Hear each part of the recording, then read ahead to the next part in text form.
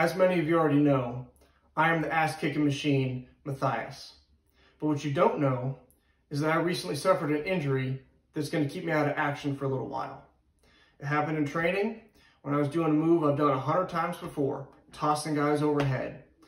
But this time when I did it, I felt what seemed like Velcro peeling apart my arm. And I instantly knew something was very wrong. However, in typical Mathias fashion, I pushed through and kept going. A couple days later, I had a match. I fought through the pain, but my strength, it just wasn't, wasn't there. So when I got back home, uh, I knew I couldn't hide this anymore. I had to go get checked out. And I went to the hospital where the doctors confirmed what I already knew.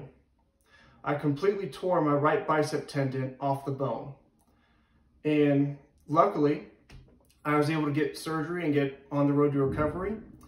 But the doctor said that I'll be out of action for six months. However, obviously, those doctors don't know who the hell they are dealing with.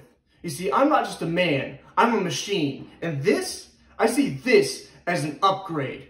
So I'm coming back bigger, better, and stronger than ever before, ready to demolish anyone that's put in front of me, just like I always do. I'll be seeing you all very soon.